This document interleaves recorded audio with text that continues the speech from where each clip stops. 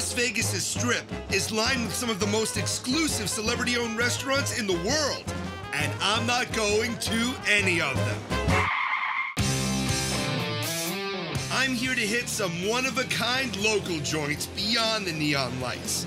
Everything in Sin City is larger than life, including the most important meal of the day, breakfast. Right now, I'm five minutes off the strip at Hash House A Go Go to sample what they call here twisted farm food. Comfort food, but with that signature Vegas twist. For breakfast, when you wake up, this is where you go go.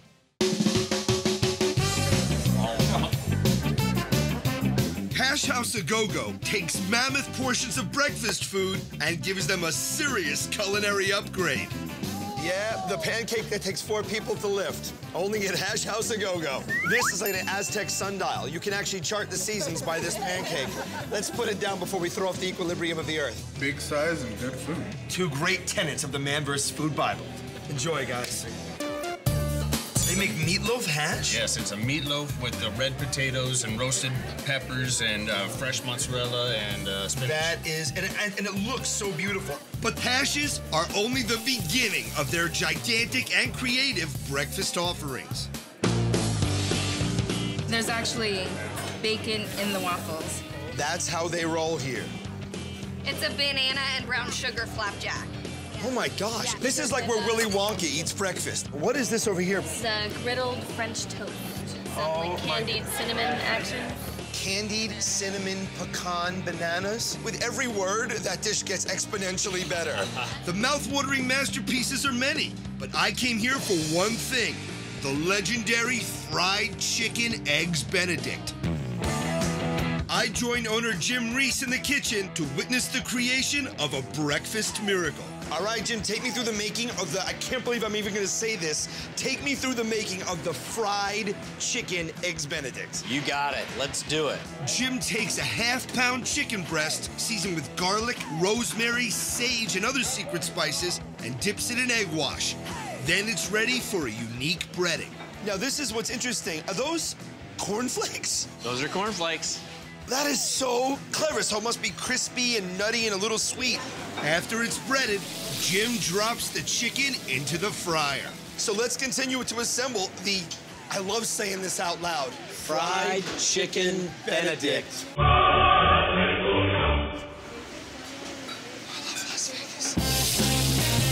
While the chicken fries, I make a wondrous discovery. This place has polenta croutons. Is that polenta? That's polenta. What?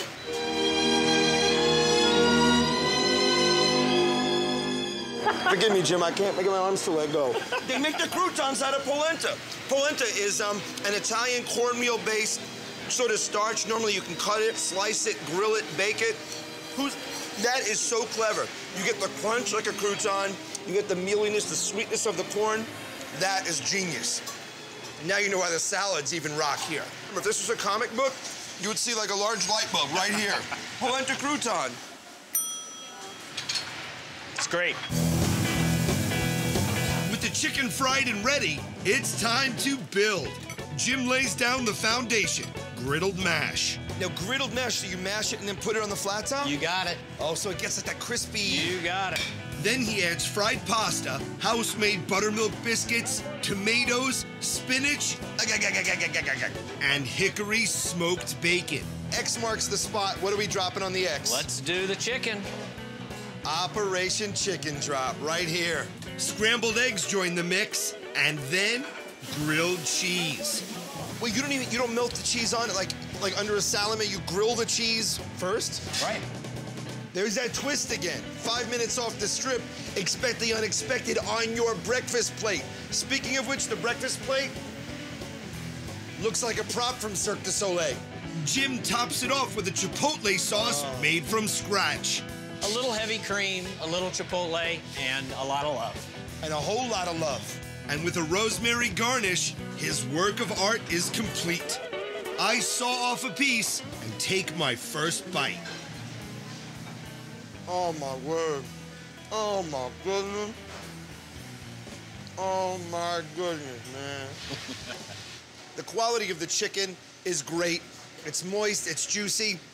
even under all this stuff, it still retains its crispiness. The potatoes on the bottom still have a little bit of a crunch. That's a Benedict. That is beyond Benedict. We left Benedict back in the Revolutionary War where he belongs. Mm. Oh my gosh. Hash House proves that everything can be part of a complete breakfast. Behold, the famous one pound stuffed burger. It takes a ham, egg, and smoked cheddar breakfast and sandwiches it between two beef patties. Now, what is your MO? How do you do it? One big bite. You just pick it up. Pick it up. Go for it. This is probably an extremely foolhardy proposition, but I think I'm gonna try to get a little bite of everything in one bite. Cheers, sir. Cheers. Mm.